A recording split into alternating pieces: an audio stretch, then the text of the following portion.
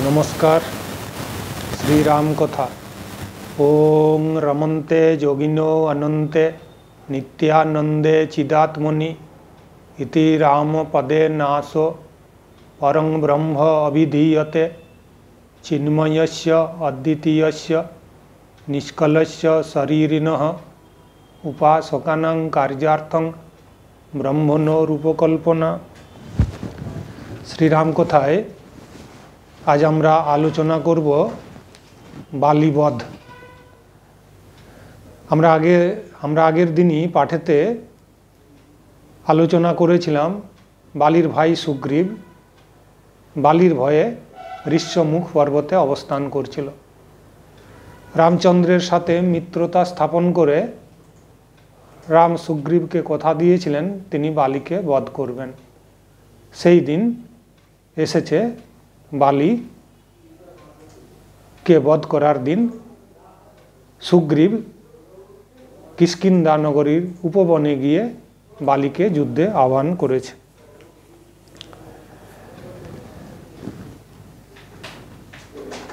বালি যখনই সুগ্রীবকে দেখেছে, তার ক্রোধ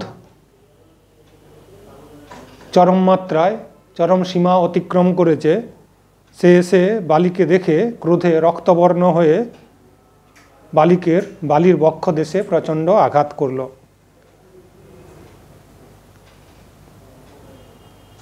প্রচণ্ড আঘাতে বালি, বালির প্রচণ্ড আঘাতে সুগ্রীব কিছুক্ষণের জন্য মূর্ছিত হয়ে পড়ে গেল। মূর্ছা ভঙ্গ করার পর সুগ্রীব বালির বক্ষ দেশে আঘাত করল। এইভাবে বালি এবং সুগ্রীবের যুদ্ধ শুরু হলো। কিন্তু উভয় ভাইয়েরই দৈহিক রূপ একই প্রকার দেখিয়া শ্রীরামচন্দ্র আশ্চর্যান্বিত হলেন এবং উভয়ের মধ্যে কে বালি, কে সুগ্রীব তা তিনি স্থির করতে পারলেন না। যখন বালি আর সুগ্রীবের যুদ্ধ হচ্ছিল, তাদের দুই দুই ভাইয়ের শারীরিক চেহারা, বৈশিষ্ট্য, শারীরিক গঠন একই ধরনের ছিল। তখন মিত্রবদের আখা আশঙ্কায় রামচন্দ্র বাণ নিক্ষেপ করলেন না। সুগ্রীব বালির দ্বারা আঘাতপ্রাপ্ত হয়ে ভয়াত ভয়াতুর হয়ে ক্রোধে রক্তভ্রমণ করতে করতে পলায়ন করল। ক্রোধ কেন এলো সুগ্রীবের? না রামচন্দ্র তাকে কথা দিয়েছিলেন যে তিনি সুগ্রী বালিকে বধ করবেন। রামচন্দ্র যুদ্ধের সময় সেই প্রতিজ্ঞা পূর্ণ করছেন না। এই এই জন্য সুগ্রীবের মনে ভয় এবং ক্রোধ উৎপন্ন হয়েছে। তখন সুগ্রীব এসে রামচন্দ্রকে বলল, হে রাম, আপনি কি আমাকে ভ্রাতারূপী মহাশত্রু বালির হস্তে বধ করাইতে ইচ্ছা করেন? হে প্রভু, যদি আমাকে বধ করাইবার ইচ্ছা আপনার হয়, তাহা হইলে আপনি স্বয়ংই আমাকে বধ করুন।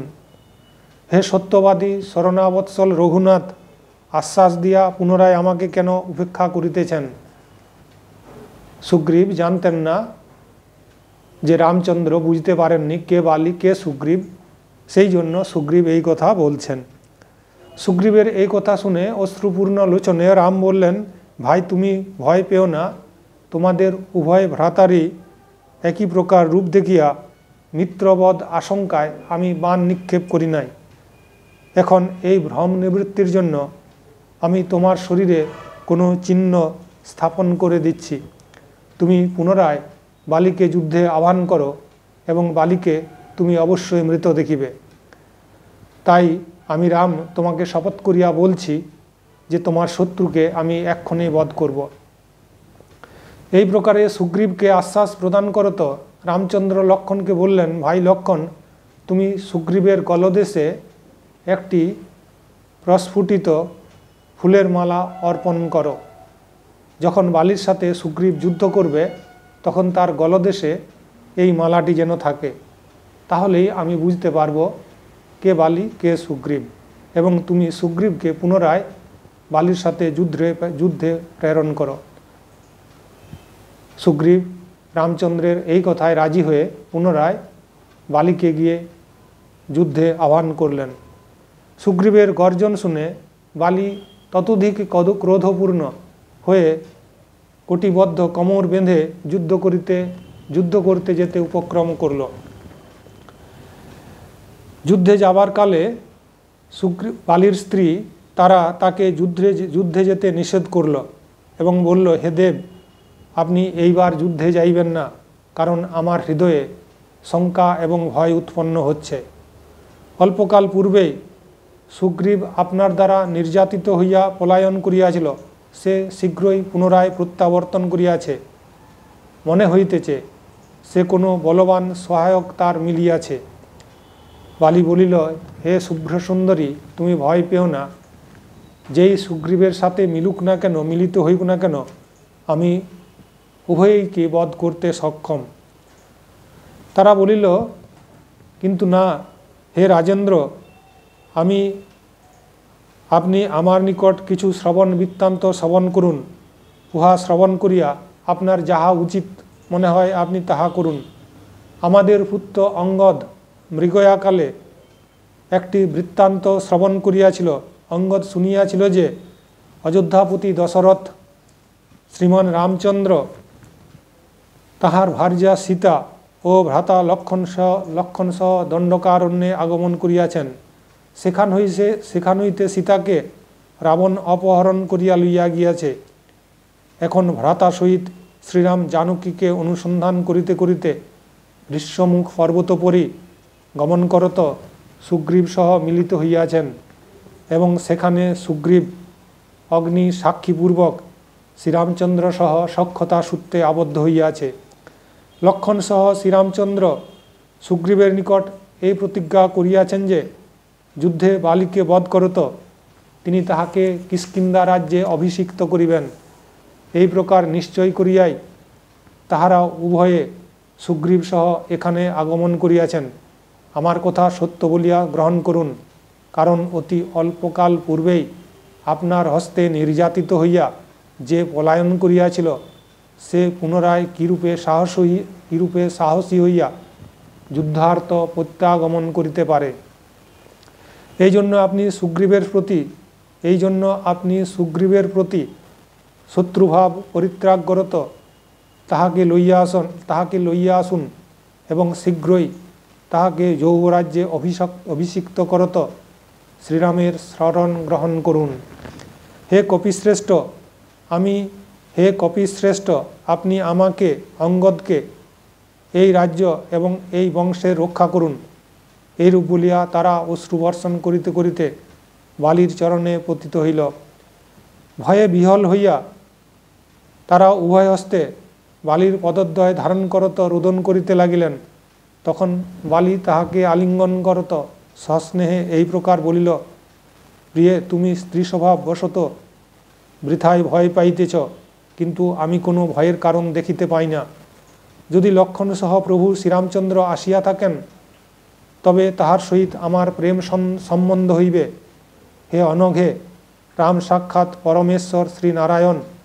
তিনি পৃথিবীর ভার দূর, তিনি পৃথিবীর ভার দূর করিবার জন্য অবতীর্ণ হইয়াছেন। এই কথা আমি পূর্বেই শুনিয়াছি। সর্বাত্মা তাহার আপন বা পর বলিয়া কোনো পক্ষপাত নাই। হে সাধ্বী, আমি তাহার চরণ কমলে প্রণাম করিয়া তাহাকে আপন গৃহে লইয়া আসিব। তিনি দেবেশ্বর। ভক্তিবশে প্রাপ্ত হইয়া থাকেন এবং যাহারা তাহার ভজন করে, তাহাদের প্রতি তিনি সদা অনুকূল হইয়া থাকেন। বালি তার স্ত্রী তারাকে রামচন্দ্রের স্বরূপ বলে এবং রামচন্দ্রের সাথে তার যুদ্ধ করার কোনো বাসনা নেই, এই কথা বলে তার স্ত্রীকে আশ্বস্ত করে যুদ্ধক্ষেত্রে সুগ্রীবের সাথে যুদ্ধে অবতীর্ণ হওয়ার জন্য গমন করল। আর এদিকে তারা অশ্রুপূর্ণ লোচনে সুগ্রীবকে, এদিকে শোকাতুর অশ্রুপূর্ণ আলোচনা তারাকে আশ্বাস করত, বালি সুগ্রীবকে বধ করিবার জন্য সমুদ্রত হইতে গমন করিলেন। বালিকে আসিতে দেখিয়া গলদেশে পুষ্পমাল্য শোভিত মহাপরাক্রমী সুগ্রীব মত্ত গজরাজের ন্যায় তাহার উপর ঝাঁপাইয়া পড়িল।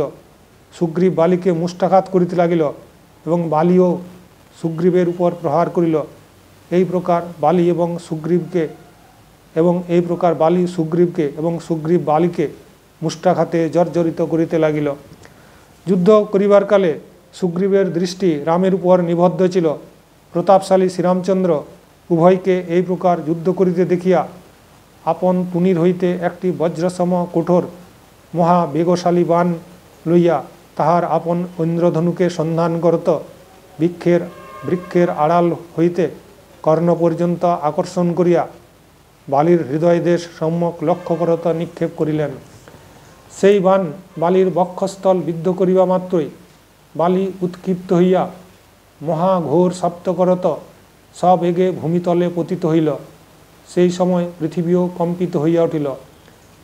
এক মুহূর্তকাল বালি সংজ্ঞা শূন্য থাকিবার পর তাহার চৈতন্য ফিরিয়া আসিল এবং সে দেখিতে পাইল তাহার সম্মুখে কমলনয়ন, শ্রীরামচন্দ্র দণ্ডায়মান। তিনি বাম হস্তে ধনুক দক্ষিণ হস্তে একটি বান ধারণ করিয়াছিলেন। পরিধানে ছিল তাহার চির বস্ত্র এবং শিরোপরি ছিল জটামুটুক জটামুকুট। তাহার বিশাল বক্ষস্থল মনোহর বনমালা বিভূষিত ছিল। স্থূল, সুন্দর ও দীর্ঘ ভুজদ্বয় ও নব শার্দুতুল্য শ্যামবর্ণ বিশিষ্ট শ্রীরামচন্দ্র ও তাহার উভয় দিকে দণ্ডায়মান, সেবাপর, সুগ্রীব এবং লক্ষণও বালির দৃষ্টিগোচর হইল। শ্রীরামচন্দ্রকে দর্শন করিয়া তিরস্কারপূর্বক মন্দস্বরে বালি বলিল, হে রাম, আমি আপনার কি অনিষ্ট করিয়াছি? আপনি আমাকে বধ করিলেন কেন? রাজধর্ম বিষয়ে অনভিজ্ঞতা বশত, রাজধর্ম বিষয়ে অনভিজ্ঞতা বশতই আপনি এই প্রকার নিন্দনীয় কর্ম করিয়াছেন। এই প্রকার বিক্ষান্তরালে লুক্কায়িত থাকিয়া আমার প্রতি পান নিক্ষেপ করত চোরের ন্যায় যুদ্ধ সহায়ে আপনার কি যশ মিলিবে? যদি আপনি ক্ষত্রিয় কুমার এবং আপনার জন্ম পবিত্র মনুবংশে হইয়া থাকে, তাহা হইলে আমার সম্মুখে আসিয়া যুদ্ধ করিতেন এবং তাহাতে কিছু যশ ও স্বর্গরূপ ফলও মিলিত। হে রাম, সুগ্রীব আপনার কি উপকার করিয়াছে এবং আমি বা আপনার কি অপকার করিয়াছি জানিতে পারিলাম না। এই তো এই রূপ শুনিয়াছি যে দণ্ডকারণ্যে আপনার ভার্যাকে রাবণ অপহরণ করিয়া লইয়া গিয়াছে এবং তাহাকে পুনরায় লাভার্থ সহায়তার জন্য আপনি সুগ্রীবের শরণ লইয়াছেন। কিন্তু বড়ই দুঃখের বিষয় যে আপনি আমার বিশ্ববিখ্যাত পরাক্রমের বিষয় অবগত নহেন। হে রাঘব হে রাঘব, যদি আমি ইচ্ছা করি, তাহা হইলে অর্ধমুহূর্ত সময় মধ্যে সব অংশ রাবণকে বন্ধন করত। এবং সীতা ও লক সীতা ও লঙ্কাকে আমি এখানে আনয়ন করিতে পারি। হে রঘুনন্দন, আপনি সংসারে অতি ধর্মাত্মা বলিয়া কথিত। ব্যাধের মত ব্যাধের মতো মত ব্যাধের মতো একটি বানরকে বধ করিয়া আপনার কি ধর্ম লাভ হইবে? বানরের মাংস ভক্ষণযোগ্য নহে, অতএব আপনি আমাকে বধ করিয়া কি ফল লাভ করিবেন? বালি এই প্রকার বহু তিরস্কার করিবার পর শ্রীরামচন্দ্র বলিলেন ধর্মরক্ষা করিবার জন্যই আমি ধনুর্বান ধারণ করত ধরাভোগকে বিচরণ করিয়া থাকি এবং অধর্মচারীগণকে বধ করিয়া সদ্ধর্ম পালন করিয়া থাকি, কন্যা, ভগ্নী, কনিষ্ঠা, ভাতৃবধূ ও পুত্রবধূ, এই চারিজন সমান যে মূঢ় ইহাদের কাহারু সহিত সম্ভোগ করে, সে মহাপাপী বলিয়া বোদ্ধব্য তাহাকে বধ করা, তাহাকে অবশ্য বধ করা রাজার সদা কর্তব্য। হে বনচর, তুমি বলপূর্বক আপনার কনিষ্ঠ ভাতৃবধূর সহিত বিহার করিয়া থাকো। এই জন্যই ধর্মজ্ঞ আমি তোমাকে বধ করিয়াছি। রামচন্দ্র বালিকে বলছেন, কেন তাকে তিনি বধ করেছেন? বালির প্রশ্নের উত্তরে বালি একটু আগেই বলল, যে হে রাম, আমি আপনার কি অপকার করেছি যে আপনি আমাকে গাছের আড়াল থেকে লুক্কায়িত থেকে চোরের মতো বধ করলেন? কেন আপনি এসে সম্মুখে যুদ্ধে আমার সাথে অবতীর্ণ হতে পারতেন? তাতে আপনি আমাকে বধ করে যশ লাভ করতে পারতেন, কিন্তু এতে আপনার অপযশ হবে। বালির এই সব কথা শুনে শ্রীরামচন্দ্র বললেন, যে কেন তিনি বালিকে বধ করলেন আড়াল থেকে? কারণ বালি ছিল অধর্মচারী। তার কী অধর্ম? না, সে তার কন্যা সম ভগ্নী সম ভাতৃবধূকে বলপূর্বক তার সাথে বিহার করত। রামচন্দ্র বলছেন, কন্যা, ভগ্নী, কনিষ্ঠ ভাতৃবধূ ও পুত্রবধূ, এই চারিজন মাতৃ মাতার মতো, মাতার সমান, যে মূঢ়, এদের সাথে পাপাচার করে, তাকে সে মহাপাপী। তুমি বানর, জানো যে তুমি বানর, জানো না মহাপুরুষগণ আপন আচরণ দ্বারা সর্বলোক পবিত্র করত। পৃথিবীতে বিচরণ করিয়া থাকেন। অতএব তাহাদের সহিত এই প্রকার ঔদ্ধত্যপূর্ণ তিরস্কাদি তিরস্কারাদি করা অনুচিত। রামচন্দ্র বললেন, তুমি তো নিশ্চয়ই জানো যে মহাপুরুষগণ আপন আচরণ দ্বারা সর্বলোক পবিত্র করে সর্বত্র বিরাজ করেন। তাই তোমার এই ধরনের ঔদ্ধত্যপূর্ণ তিরস্কার করা অনুচিত। শ্রীরামচন্দ্রের এই রূপ বচন শুনিয়া বালি অত্যন্ত ভয় সন্ত্রস্ত চিতে চিত্রে তাহাকে সাক্ষাৎ লক্ষ্মীপতি শ্রী নারায়ণ জ্ঞানে শীঘ্রই প্রণাম করত, বলিল, হে রাম হে রাম, হে মহাভাগ, আমি জানিয়াছি আপনি সাক্ষাৎ পরমেশ্বর। অজ্ঞানবশত আমি যাহা কিছু করিয়াছি, তৎজন্য আপনি আমাকে ক্ষমা করুন। রামচন্দ্রের এই কথায় বালির জ্ঞান চক্ষু খুলে গেল। সে বুঝতে পারল তার মহা পাপের কথা। সে রামচন্দ্রকে বলছে, হে রাম হে রাম, হে মহাভাগ আমি জানিয়াছি, আপনি সাক্ষাৎ পরমেশ্বর, অজ্ঞানবশত, আমি ভুলবশত যাহা কিছু করেছি, তার জন্য আপনি আমাকে ক্ষমা করুন। হে প্রভু, আপনার দর্শন লাভ মহাযোগীগণেরও অতি দুর্লভ। আমার মহাভাগ্য যে আপনার স্বরাঘাতে বিদ্ধ হইয়া এবং আপনারই সম্মুখে আমি প্রাণত্যাগ করিতেছি। পালি বলছেন যে, হে প্রভু, আপনার চরণ কমলের দর্শন মহাযোগী মহাযোগীগণেরও অতি দুর্লভ বস্তু। কিন্তু আমি আমার ভাগ্য মহাভাগ্যের ফলে আপনারই হাতে, আপনারই স্বরের আঘাতে বিদ্ধ হয়ে আপনারই সম্মুখে আমি প্রাণত্যাগ করিতেছি। এই প্রকার প্রাণত্যাগও অতি দুর্লভ। মূর্ষু ব্যক্তি বিবশ হইয়াও যাহার নাম উচ্চারণ বলে পরমপদ প্রাপ্ত হইয়া থাকে, সেই আপনি আজ অন্তিম সময়ে আমার সম্মুখে বিরাজমান। বালি বলছেন, মুমূর্ষু ব্যক্তি, যে ব্যক্তি মারা যাবে, রোগগ্রস্ত, সেই মুমূর্ষু ব্যক্তিও যদি বিবশ হয়ে মন থেকে না বলে বিবসা বিবশতাবশত একবার রাম নাম উচ্চারণ করে, যার পরম পদ প্রাপ্ত হয় অন্তিম সময়ে সেই রামপদ আমার সম্মুখে এখন বিরাজমান। হে দেব, আমি জানি, হে দেব, আমি জানি যে আপনি সাক্ষাৎ পরম পুরুষ নারায়ণ এবং জানকী লক্ষ্মী। ব্রহ্মার প্রার্থনাবশেই রাবণ বধের, রাবণ বধার্থ আপনি অবতীর্ণ হইয়াছেন। বালি বলছেন, হে রাম, আমি জানি আপনি সাক্ষাৎ নারায়ণ এবং জানকী সীতাদেবী সাক্ষাৎ লক্ষ্মী ব্রহ্মারই প্রার্থনা বসে পৃথিবীর পৃথিবীর ভার অপনয়নের জন্য আপনি মায়া মনুষ্যরূপে অবতীর্ণ হয়েছেন। রাবণ এবং অন্যান্য রাক্ষসদের বধের নিমিত্ত। হে রাম, আমি এখন আপনার পরম ধাম প্রাপ্ত হইব। আপনি আমাকে আজ্ঞা করুন, আমার পুত্র বালক অঙ্গদ আমারই তুল্য বলশালী, তাহার উপর আপনি কৃপাদৃষ্টি রাখিবেন। বালি বুঝতে পারছেন? তার শেষ সময় উপস্থিত, তাই তিনি বলছেন, হে রাম, এখনই আমি আপনার পরম ধাম প্রাপ্ত হব। আপনি আমাকে সেই ধামে যাওয়ার আজ্ঞা প্রদান করুন। আর আমার বালক পুত্র অঙ্গদ আমারই নে বলশালী, তাহার প্রতি আপনি সব সময় কৃপা দৃষ্টি রাখবেন। হে রাম আমার হৃদয় দেশ আপনার করকমল দ্বারা স্পর্শ করত। এই বান উৎপাটিত করুন। তখন শ্রীরামচন্দ্র ওই কথায় স্বীকৃত হইয়া তাহাকে স্পর্শ করত। বান নিষ্কাশিত করিলেন। বান উদ্ঘাটিত হইবা মাত্র। বালি বানর শরীর পরিত্যাগ করত। ইন্দ্ররূপ প্রাপ্ত হইলেন। ইন্দ্রের অংশে বালির জন্ম হইয়াছিল বলিয়া তিনি মৃত্যুর পর ইন্দ্রস্বরূপ প্রাপ্ত হইলেন। আমরা যখন রামায়ণ পাঠ শুরু করেছিলাম, তখনই বলেছিলাম, ভগবান রামচন্দ্র, ভগবান রাম যখন রাম রূপে অবতীর্ণ হলেন, মানুষ রূপে অবতীর্ণ হলেন, তখন বিভিন্ন দেবদেবীরাও মনুষ্যকুলে, বানরকুলে জন্ম পরিগ্রহ করেছিলেন।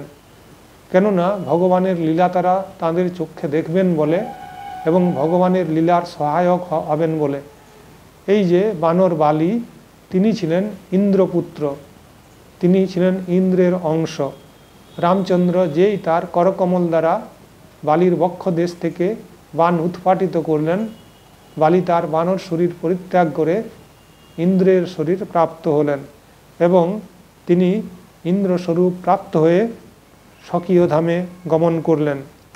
পরমাত্মা রাম কর্তৃক বালি যুদ্ধে নিহত হইবার পর সমস্ত বানরবৃন্দ ভয়ে ব্যাকুল হইয়া কিষ্কিন্দা নগরীতে পলায়ন করিল। যখন সুগ্রীব এবং বালির যুদ্ধ, সুগ্রীব এবং বালির যুদ্ধ চলছিল, তখন কিষ্কিন্দা নগরীর সমস্ত বানরেরাও এসে উপস্থিত হয়েছিল। তারা এখন বালি বধ হওয়ার পর ভয়ে ভীত সন্ত্রস্ত হয়ে তারা কিষ্কিন্দা নগরীতে পলায়ন করল। সেখানে যাইয়া তাহারা রানী তারাকে বলিল, হে মহাভাগে, বানররাজ বালি যুদ্ধক্ষেত্রে নিহত হইয়াছেন। এখন আপনি মন্ত্রীগণকে প্রেরণ করত রাজকুমার অঙ্গদকে রক্ষা করুন। হে মাননীয়া, আমরা নগরীর চতুর্দিগস্থ প্রাচীরের দরজার কপাটাদি বন্ধ করিয়া নগরী রক্ষা করিতেছি। আপনি অঙ্গদকে বানরগণের রাজপদে প্রতিষ্ঠিত করুন। বালির মৃত্যু সংবাদ শুনিয়া তারা শোকে মূর্ছিত হইলেন এবং আপনার মস্তক ও বক্ষস্থলে পুনঃ পুনঃ করাঘাত করিতে লাগিলেন এবং তিনি বলিলেন, অঙ্গদ, নগর, রাজ্য এবং ধনাদি আমার কী প্রয়োজন। আমি এখনই আপন অতিদেবের সহিত প্রাণত্যাগ করিব রাজা বালির বধের পর কিষ্কিন্দা নগরীতে শোকের ছায়া নেমে এসেছে। বালির স্ত্রী তারাও সেই শোকে মুহ্যমান হয়েছেন। তিনিও তার পতির সাথে সচিতায় প্রাণত্যাগ করবেন বলে তিনি তার পতি বালির সাথে, আপন পতির সাথে প্রাণত্যাগ করবেন বলে সংকল্প করছেন। এই বলিয়া ক্রন্দন করতে করতে মুক্তকেশী তারা অতি শোকাকুল হইয়া শীঘ্রই বালির মৃতদেহ যেখানে পতিত হইয়াছিল, সেখানে উপস্থিত হইল এবং রক্ত ও ধূলি বিক্ষিপ্ত ভূমিশায়ী বালির মৃতদেহ দর্শন করিয়া হানাত হানাত বলিয়া রোদন করিতে করিতে বালির চরণের পরি পতিত হইল। এই প্রকার করুণ বিলাপ করিতে করিতে তাহারা শ্রীরামচন্দ্রকে দেখিতে পাইয়া তাহাকে বলিল, হে রাম, যে বাণের দ্বারা আপনি বালিকে বধ করিয়াছেন, উহার দ্বারা আমাকেও বধ করুন। কারণ তাহাতে আপনি শীঘ্রই, কারণ তাহাতে আমি শীঘ্রই প্রতিলোকে চলিয়া যাইব। তিনি আমার জন্য নিশ্চয় প্রতীক্ষা করিতেছেন। হে রঘুনন্দন, আমাকে বিনা স্বর্গেও তাহার শান্তি মিলিবে না। হে অনঘ পত্নী বিয়োগে জনিত দুঃখের তীব্রতা আপনি উত্তম রূপে অবগত আছেন। অতএব আপনি আমাকে বালির নিকট প্রেরণ করুন। ইহাতে আপনি পত্নীদানের ফল পাইবেন। সুগ্রীবের বালির স্ত্রী তারা রামচন্দ্রের রামচন্দ্রের কাছে প্রার্থনা করছেন, তিনিও যেন তাকে একটি বানের দ্বারা বালির লোকে প্রদান করেন, বাড়ির লোক প্রদান করেন। কারণ তিনি যদি এই কাজ করেন, তাহলে তিনি স্ত্রী ফল, পত্নী দান ফলের, পত্নী দান প্রদানের ফল প্রাপ্ত হবেন। অতঃপর সুগ্রীবের উপর দৃষ্টিপাত করিতে তারা বলিলেন, হে সুগ্রীব, বালিঘাতক শ্রীরামচন্দ্র তোমাকে রাজ্য প্রদান করিয়াছেন। এখন তুমি সেই নিষ্কণ্টক রাজ্য তোমার পত্নী রুমার সহিত সুখে ভোগ কর। তারা এইরূপ বিলাপ করিতেছেন। তখন মহামুনা শ্রীরামচন্দ্র কৃপা প্রদর্শনপূর্বক তত্ত্বজ্ঞানের উপদেশ দ্বারা তাহাকে সান্ত্বনা প্রদান করিলেন। হে ভীত স্বভাবা তোমার প্রতি শোকরই যোগ্য নয়েন। তুমি কেন ব্যর্থ শোক করিতেছ? তুমি বিচার করিয়া ইহা বলো।